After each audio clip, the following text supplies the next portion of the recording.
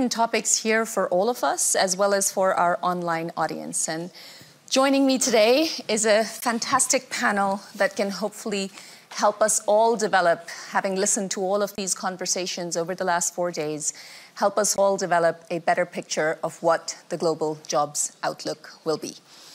I am joined by, uh, immediately to my left, Nicolas Schmit, Commissioner for Jobs and Social Rights at the United Nations. Welcome. Thank you. Uh, to the far end of the panel, Aiman Ezzat, Chief Executive Officer of Capgemini from France. Welcome. Thank you. Next to him, um, Hisayuki Idekoba, President, Chief Executive Officer, and Representative Director of the Board Holdings Japan. Welcome. Thank you. And finally, last but not least, uh, Zainab Shamsuna Ahmed, Minister of Budget, Planning, uh, Finance, Budget, and National Planning of Nigeria. Welcome. Thank you. Thank you so much for joining us. I'm going to start with a very quick poll in our audience. How many of you think that unemployment will rise globally in this coming year? I would say that's about two thirds of the room. How many of you think that real wages will rise over the coming year? Really? Maybe two or three hands. That's less than 5% of the room, perhaps 10% of the room. And I think that's among the issues that we will try to discuss today. Um, one, are we going to have enough jobs? What are the types of disruptions that will take place in this coming year, but also a longer term outlook? And are these going to be good jobs? Are these going to be meaningful jobs? And are they going to pay people well enough, especially in the midst of an rising inflation and a cost of living crisis? With that, I will begin um, our conversation with perhaps just a quick thought on what you've seen of the results of our very quick um, uh, in-person polling, uh, as well as some specific views. And I'm going to turn to you first, Mr. Idekoba, because you have global data on the labor market. Where do you think things are headed? Yeah, uh, it, it, seems people are thinking, you know, high uh, unemployment ratio. Of course, you know, there will be you know, good time and a bad time uh, in terms of uh, economy. You know, we recruit is a, a global tech company uh, which we are serving uh, more than 300 million uh, users, job seekers every month through our services like Indeed.com or Glassdoor. And what we are seeing is uh, there's three challenges, especially actually supply side. number one is aging workforce. And number two is uh, the rapid change of uh, attitude towards work-life balance. And the number three is change of immigration and migration. And the first thing, uh, for example, in 2000 and between 2000 and 2010, in OECD countries, we saw uh, increase of percentage of working age population.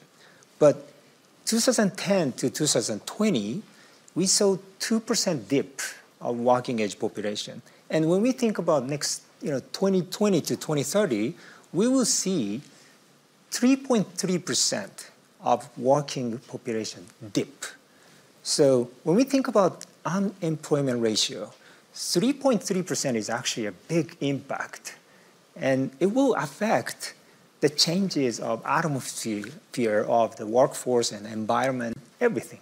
And in the US, you know, one fourth of workers are over 55. Mm. And, and the second, so the change of attitude towards the work-life balance. Now, you know, compared with before COVID, in the US, for example, we we're getting like more than three times of jobs, job postings are having some kind of remote work options. But uh, job seekers are searching five times more uh, about remote work job. People love flexibility and the remote work. So the, you know, the attitude toward uh, work-life balance, especially younger generation, has been changing rapidly. It is very difficult to fill uh, healthcare workers positions or uh, you know, construction worker positions. And third, uh, changes of immigration and migration. For example, in the US, we had 2015, US had more than 1 million immigration surplus, even before COVID-19.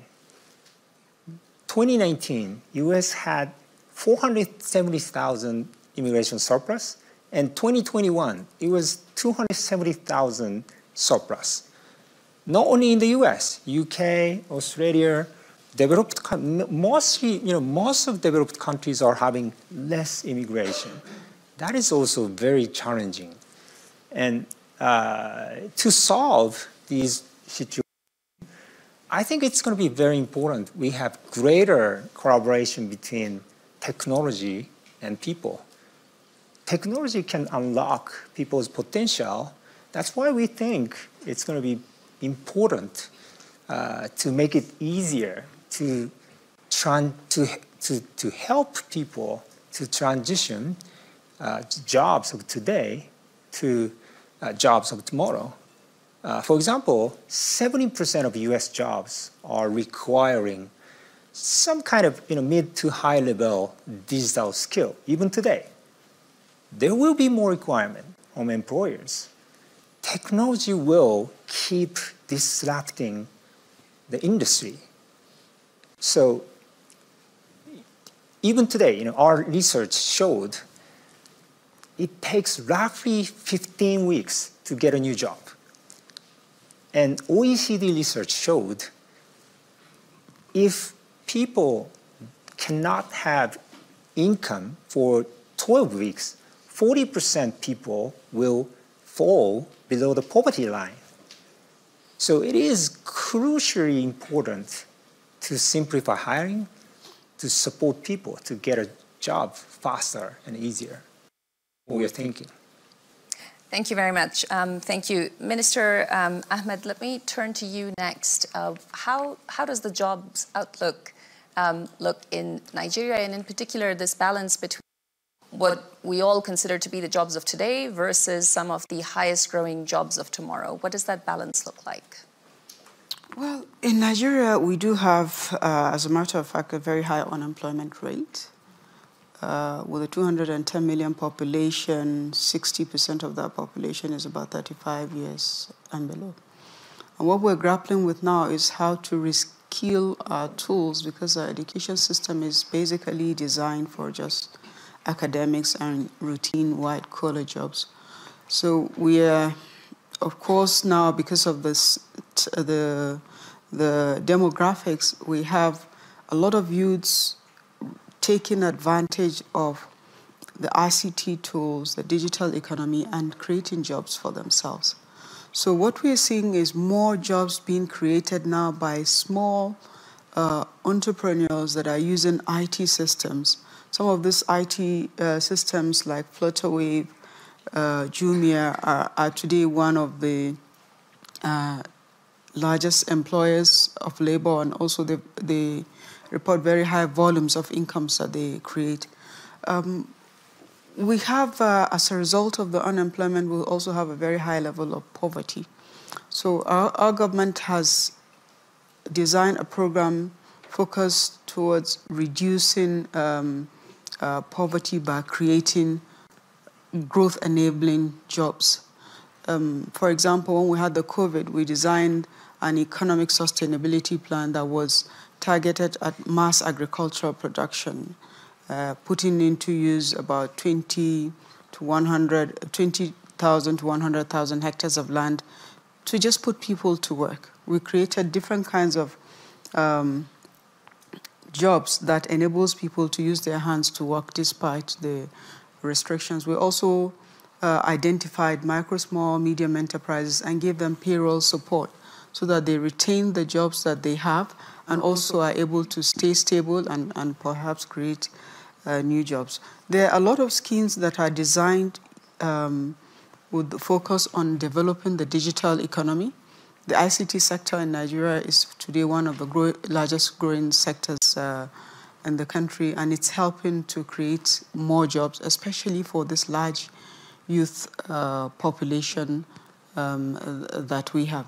So we see the potential to do more. It's still a very long way off, but we're seeing in between 2020 and 2021, 9 million new jobs were created.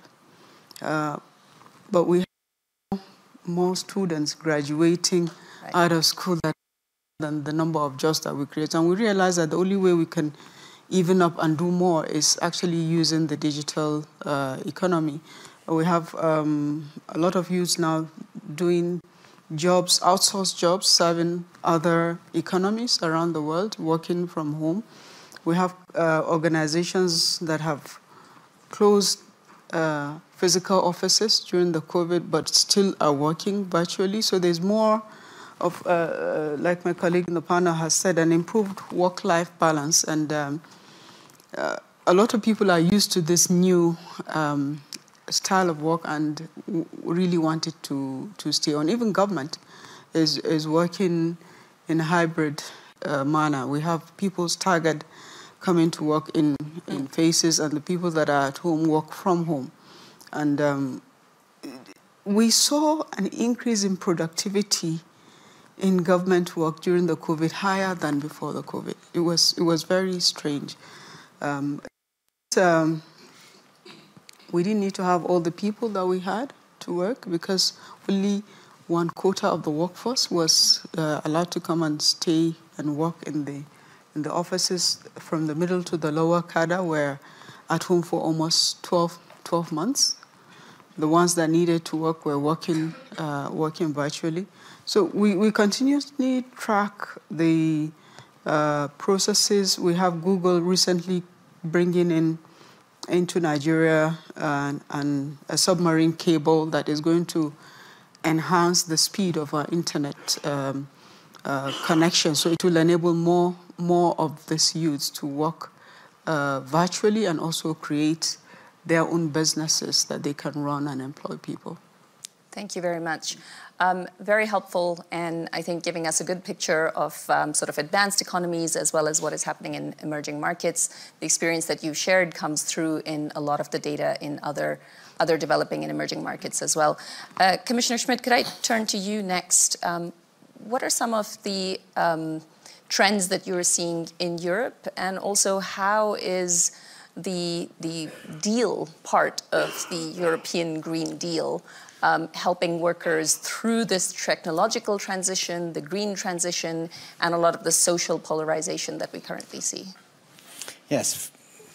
Um, first, I, I would say that we are in a globalized world, but the problems are quite different. And uh, what we hear now from uh, from our friends from Africa, we hear the, the, same approaches in Northern Africa and other places in the world. So I think uh, Europe, Japan, and also the US are in a different, uh, in a different world in, in relation to jobs and, and, and employment because of mainly of demographics uh, being one of the main issue.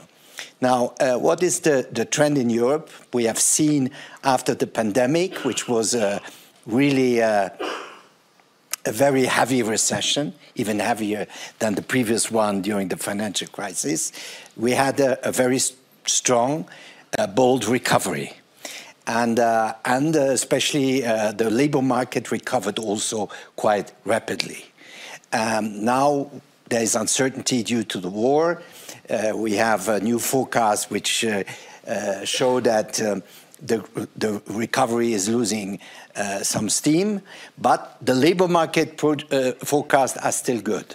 And I think there is a mixture of also demographics and what you said about the aging working population, people moving out of the labor market, but also uh, it seems a very strong um, hiring tendency among companies because uh, uh, companies are in a process of change.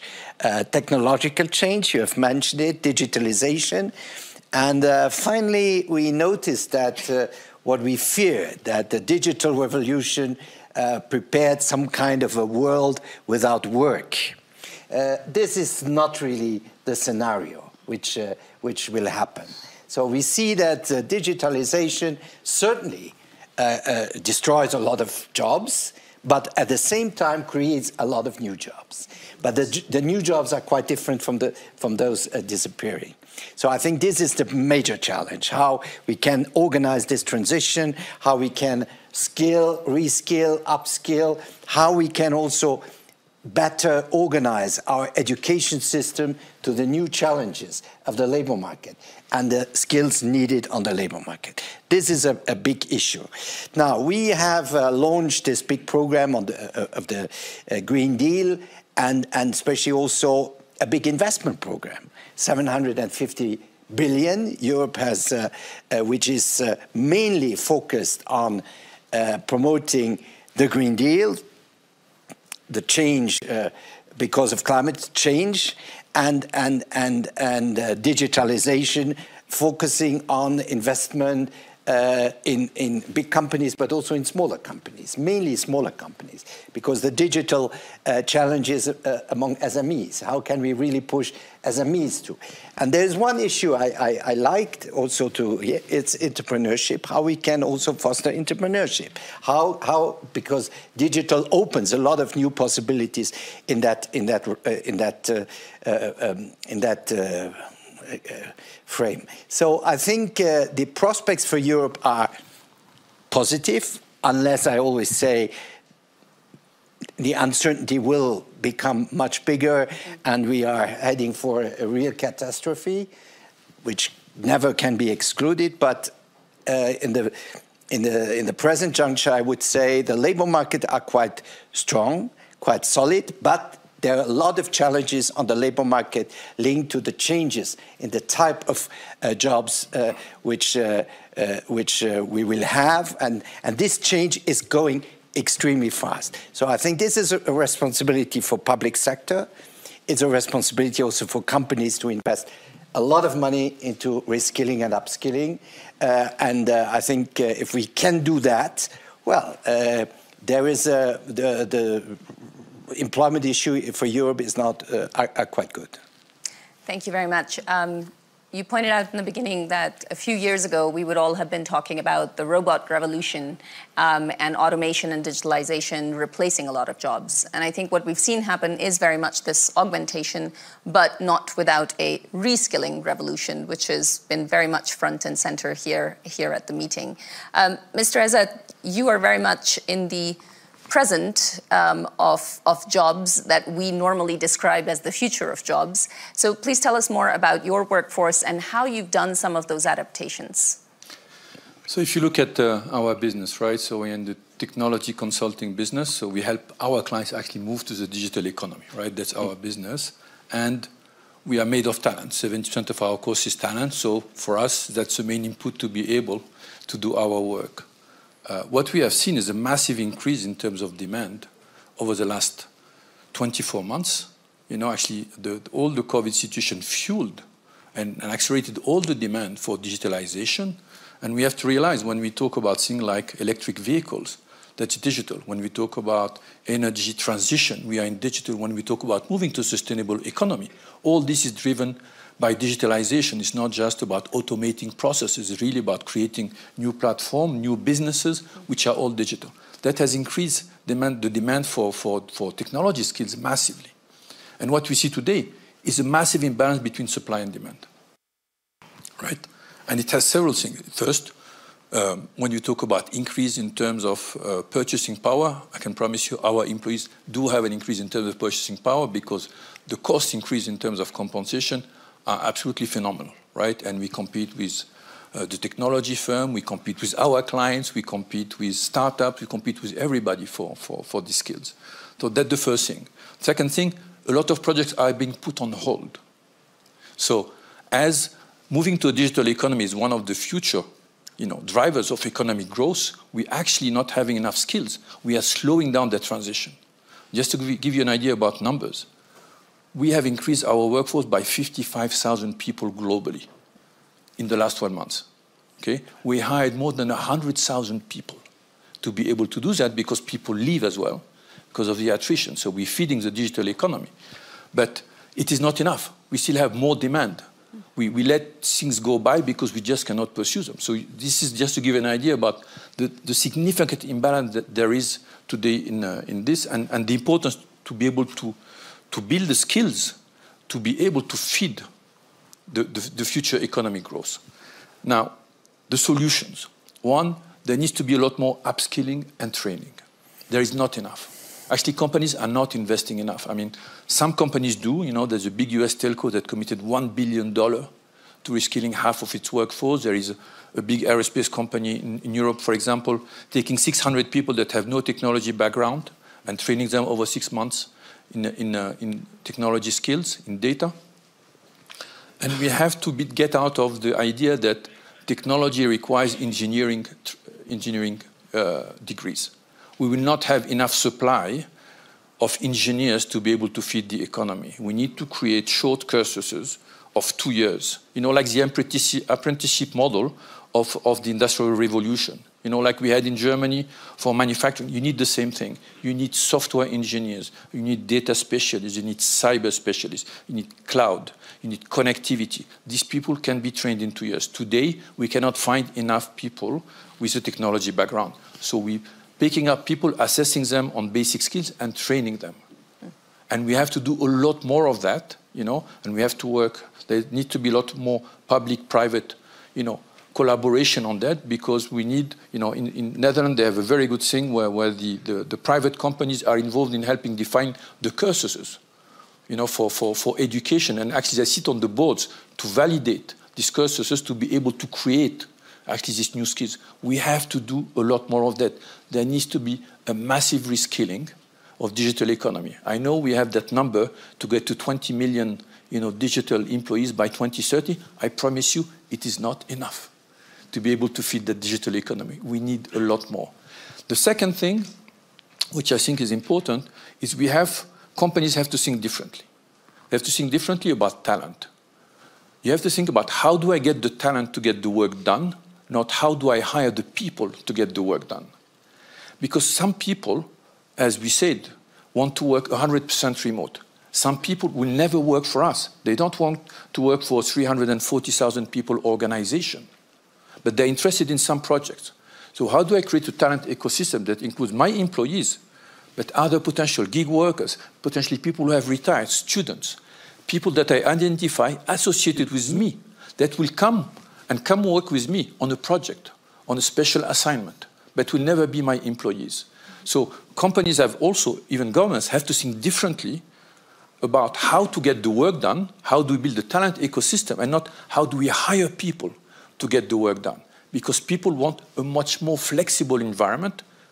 The, the, the, workforce has become much more fluid.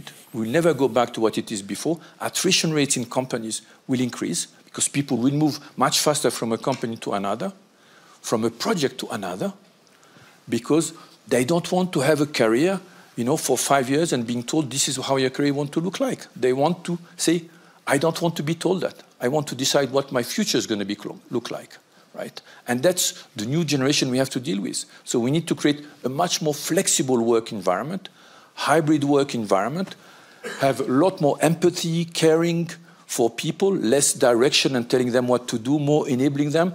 It's a complete evolution as well in terms of leadership uh, approach, you know, to be able to get this, also keep this workforce, which has completely changed, you know, in the last 10 years. And that's what we see today as being some of, some of the challenges we have to deal with. Thank you so much. Very diverse perspectives in terms of what the jobs outlook and trends will be, but I think a lot of commonality in terms of the red threads around skills, um, the red threads around the agency of people and the type of work that they want to do, and the importance of digital and connectivity. We have a little bit of time for questions from the audience. Um, please say your name, your organization, and please keep your question brief. Over to you. Yeah.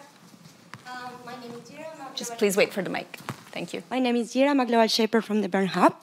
Um, my question is very specifically, how would you see the universal basic income, specifically this, like as one of the steps to make sure that nobody is under poverty, um, while you can implement the upskilling that all of you had been mentioning.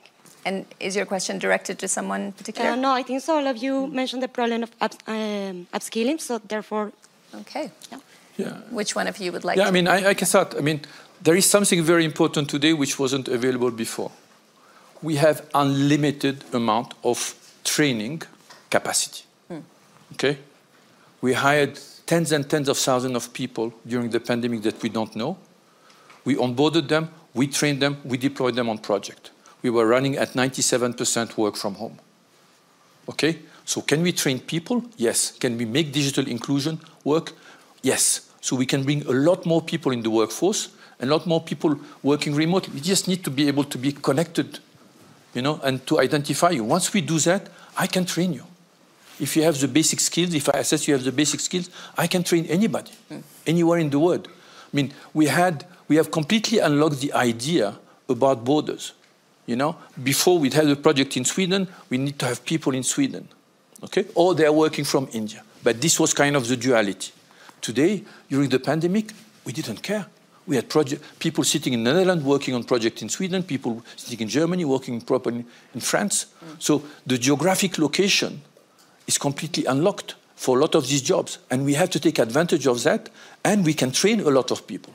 So the connectivity and, and bringing to people connectivity is the most important things to be able to deal with some of these issues and take people out of poverty and train them on some of these new skills and give them jobs. That's fascinating. Can I just ask you one quick follow up question? There's been so much conversation about globalization, deglobalization here when it comes to trade in particular. I mean, is your view that we're going towards a very globalized digital labor, labor market?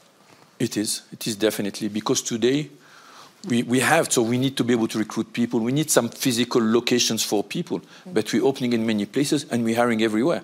The, the, the, the beauty of work from home is remote work, is not work from home. Okay?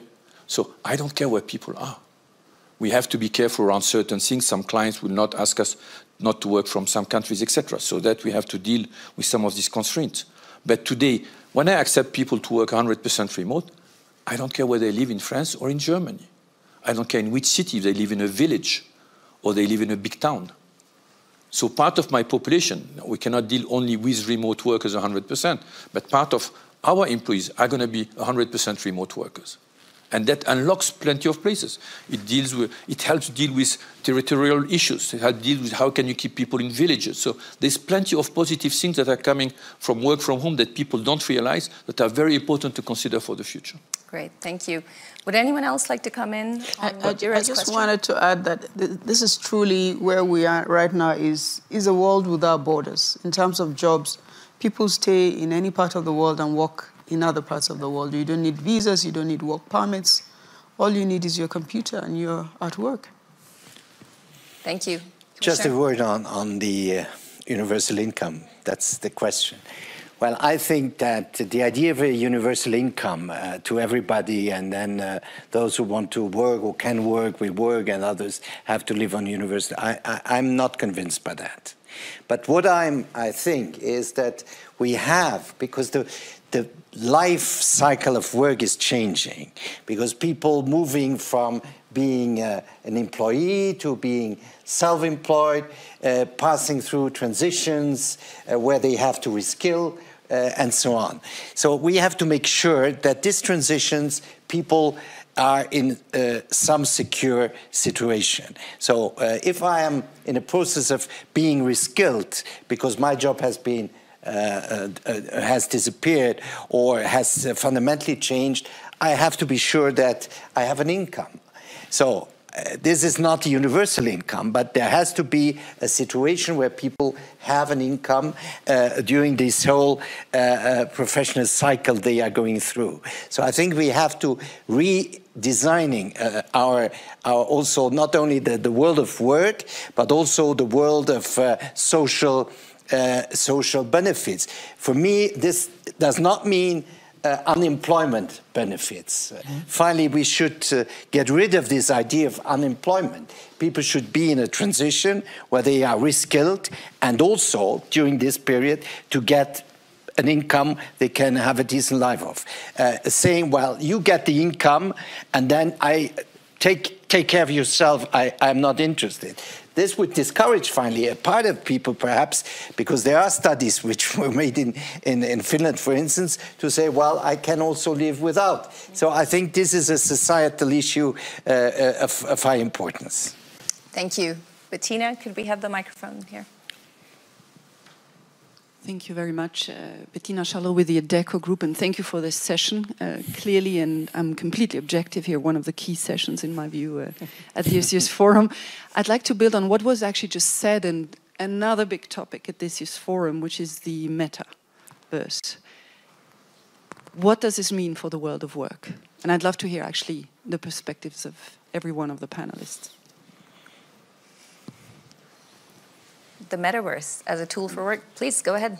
Yeah, I think, uh, you know, as everybody is saying, uh, it's very important to reskill, upskill. It's probably including, you know, metaverse skill to sell something through metaverse. But uh, I think it's, you know, probably the job thing will be more global, including metaverse. You know, somebody's working from Africa, somebody's working from everywhere. But I think also we need to be very careful to think about the gap between the digital economy and local economy. Mm. What I'm saying is, you know, as I said, the very important thing is the job market is becoming really, how can I say, the job seekers are empowered. They know many information now, right? Compared with 20 years ago, 10 years ago, even just 10 years ago, in, the US, just 3 4% of employers are disclosing the expected salary. And we struggle to you know, ask employers to disclose it. And it's becoming more transparent. As a result, job seekers are way more empowered. So, as a result, of course, through COVID 19, we know that essential workers are so crucial for society. But uh, okay, global jobs, data jobs, we need to upskill, reskill. Yes, but we need primer, right? So I think, of course, there will be a new, you know, trend from metaverse or digital, but uh, at the same time, we definitely need to be very careful how to revalue these essential jobs, essential workers, to be a part of our society. That's what I'm thinking. Thank you very much. And, and let me actually just very quickly build on that. Um, we launched earlier this week a Jobs of Tomorrow um, report here uh, at the forum. And we, we were going to look, it's going to be a series, and we're going to look at social jobs, tech jobs, and green jobs. And this one was starting out on social jobs, and that includes care jobs, education jobs, and health jobs uh, all three that we know we're going to need a lot more of, and possibly lend themselves a little less to hybrid work or to virtual work, um, depending on how, how they're being done. And there's a, for every dollar invested in social jobs, there's a $2.3 return in addition to massive multiplier effects simply because of what those jobs do in society. So how do we solve for some of that? Let me jump in with that question and then I'll come back to audience questions. Sorry, can you rephrase? So how would we solve for in this in this future of jobs that we're mm -hmm. talking about here, where so much of reskilling and upskilling is really around digital jobs and ensuring that people can work in the digital economy. For these essential roles that we know we're going to need so much mm -hmm. more of in society, how do we ensure that these are valued. These are high paid roles, these are high skilled role, roles, and become attractive options for people. Yeah, I, you know, what we're seeing every day from our data is it's very difficult to attract, especially younger talent, uh, to you know apply these uh, jobs, and I think you know actually payment, you know hourly wage is becoming less important I think very important thing is you know flexibility or the environment of jobs and you know and also more like a purpose-driven type of uh, you know communication between workers and employers. And we're seeing like really high turnover rate from healthcare workers or uh, you know construction workers. So I think of course we need to pay more uh, but uh, we also need to think how can we maybe train employers to mm. build better uh, workplace. Uh, just build on that, at least for, for our type of population, we see a lot more importance around the purpose of the company, what do you stand for, how do you care about your employees and care about society and your stand in society. Uh, aspects like diversity and inclusion are absolutely fundamental. I mean, as CEO, if there's something happen, I get challenged, I get emails, I get things on LinkedIn, you know. So it, it is absolutely important to have purpose-driven companies that have a role in society and stand for something. Uh, as I talked before, the leadership has to completely change. It's not about management. Really have to move away. It's about caring and enabling people, not telling them what to do, but giving them a direction, giving them priority, giving them the means, and letting them express themselves. If not, they leave. They don't want to be told, this is how you do things. They want to be given the freedom to do that. It's about we opening projects to people. People can decide on which projects they, they, they, they're going to go. So all this evolution in terms of flexibility, agility, transparency, you know, we post jobs and opening on projects. We don't tell people you go on this one, we tell them on which one you want to go. Mm. And if you don't make that happen, then employees don't stay. And so transparency, authenticity, diversity, you know, these are very important words today if you really want to be able to attract people and to get them to stay in your company. Thank you. If I may, uh, I think uh, just to address the part of your question that speaks to specifically to social work, and I'll take example of the health sector. in Nigeria, we've been losing health workers in droves. Our workers, nurses, doctors are leaving for different parts of the world because they are getting much, much a higher pay than we can ever pay them. Mm. So we really are now at a situation where we're looking at what do we do because we are getting to the point when we will where where our hospitals are getting stretched because the workers are, are leaving. Uh, and um, so, so it means these workers are well trained and they have the experience, and that's why they're well sought after. But we're suffering because of what is happening right now. We're looking at how we can upgrade their pay to, to within the limits that we can, but also to create a more flexible work environment and also retool the, um, the equipments and the tools that they, they work with. Because some of them that we spoke to um, have said that the work environment is difficult in the sense that they don't have new tools that they could use to help their patients. So for us, it's, it's, um, it's, it's actually life-threatening for a lot of people because when you're losing doctors or specialists that you have trained over years, you've invested in, and then one day they get a better offer in some country and they just get up and go. It's a very difficult situation, and we're looking at how to uh, address it. Great. Thank you. Commissioner? Well, I think the, uh, the digital is fundamental, but there are other jobs there, and there are other jobs shortages there, and the care sector is one of them. And finally, uh, especially in, in Europe, and in Japan and in some other parts of the world, aging population means the need for more care workers. And uh, because uh, uh, we do not have these care workers. And that's why, exactly what you describe, we attract people from different other parts of the world who have been trained as nurses or doctors to Europe to take care of uh, know, our health systems or our uh, care institutions.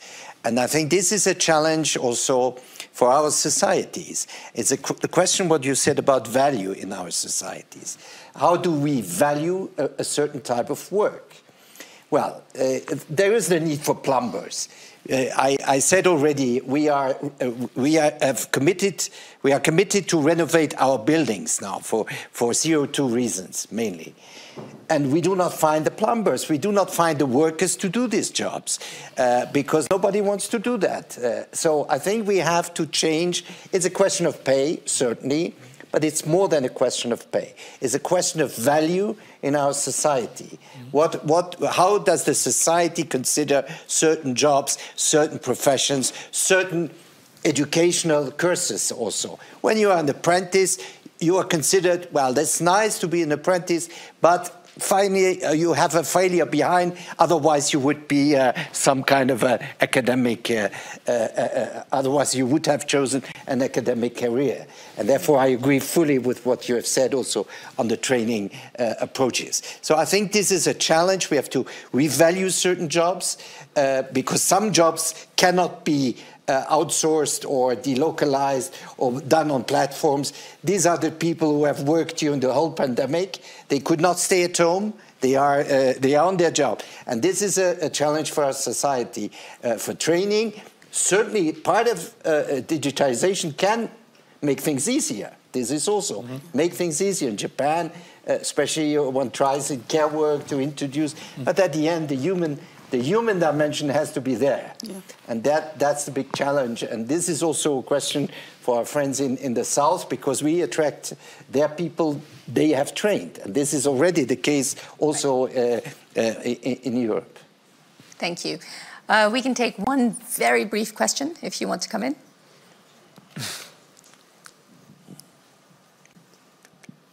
Thank you so much uh, for the panelists. Uh, my question is direct uh, directed to Minister Ahmed. Uh, as we know that the African continent is the youngest continent in the world, we're looking at over 1 billion uh, young people under 35.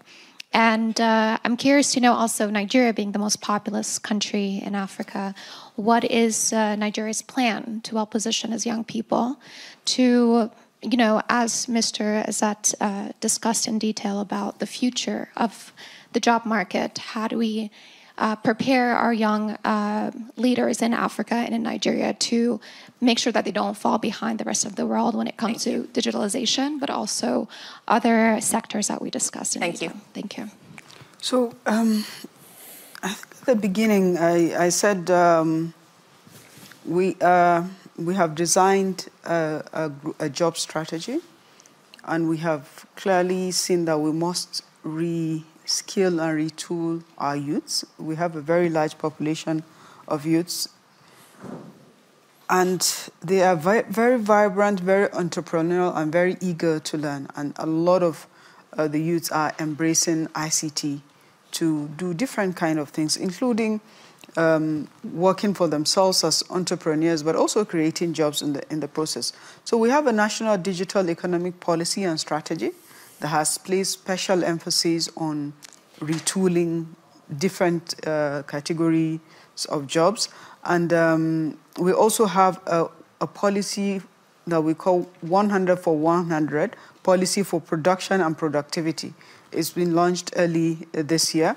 And the idea is to provide um, special funding to uh, low cost financing, so it's loans, right, to businesses that want to expand and retool their businesses so that they can do more and also employ uh, more, more people. And already there's a large uptake for this um, from the private from the private sector. It's clear to us that it's not government that can create the jobs. So we're not making much effort to create new jobs in government, but to support the private sector and enable them to create the jobs that we need. Thank you. Uh, I do want to ask all of you for one final comment. Um, for somebody who is a teenager who is watching this conversation today, will be joining the labor market in a few years' time. What's your one piece of advice to them? And I'm going to call on you, Mr. Ezzat, first. I'm going to be a bit biased, right? I mean, there's a massive potential future in digital economy. You know, get, get, jump on one of these jobs, whether you like cyber or artificial intelligence or software development or and, and choose your industry. You know, you want to work in, in e-health, you want to work in, uh, on the auto sector, you want to work in utilities, all these industries, any industries today provide opportunities for digital. It's not just working for digital companies, it's working for any industry because they all have opportunities around digital. Great, thank you. Mr. Idekoba. Yeah, of course, you know, it's very important to get the, you know, digital skill. But uh, what I've been thinking is, what is good job? So I think good job you know, the, when I saw the really passionate chefs, great, you know, that is a great job. So uh, we need it. So I think, you know, I will ask people, you know, young people, hey, think about it. What is what you can be passionate of? that's your good job. That's what I'm thinking. Thank you. Minister. I will advise the youth to um, just pick whatever interests them the most and learn new ways of doing those things better. So whether you're a carpenter or plumber or you're a software specialist, you need to reskill yourself and retool yourself to be able to expand your opportunities to uh, uh, to work for yourself. That's our emphasis, uh, helping youth to work for themselves, but also to get better jobs. Thank you. And Commissioner, you get the last word. well, I would say to uh, every young person, get a good education, whatever, in whatever field, but try to get an education. An education in the field you, you think you are best fitted for. And uh, the second one, be ready also that this education might not lead to your job for your whole life, that there are other, a lot of opportunities waiting for you, but this means that you have to be open to, uh, to new knowledge, to new skills, and that uh, finally this is not a constraint. This is uh, finally an opportunity. Thank you so much. Um, there you go, the Global Jobs Outlook. Um, if you are working with the World Economic Forum, please also join the reskilling revolution. I think we saw that come through. And here at this meeting, we announced a new jobs consortium that we'll be looking at developing more of the jobs of tomorrow as economies recover. Thank you so much, Mr. Ezzat, Mr. Idekoba, Minister Ahmed, and Commissioner Schmit.